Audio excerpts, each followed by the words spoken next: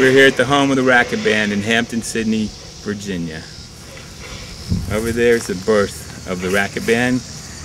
My brother Greg on drums, David on guitar, and me on guitar, right there in this house.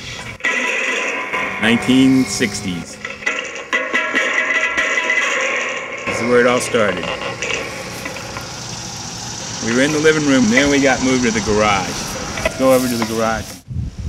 That's the garage where the legendary racquet band used to practice right there.